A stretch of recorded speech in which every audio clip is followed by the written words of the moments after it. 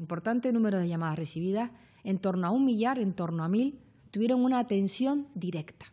024 ha venido para quedarse, ha venido, ha venido para ayudar, para apoyar a aquellas personas que tienen una ideación, una conducta suicida y para hacerse una llamada a la vida y poder evitar tantas muertes que pudieran haber sido evitables.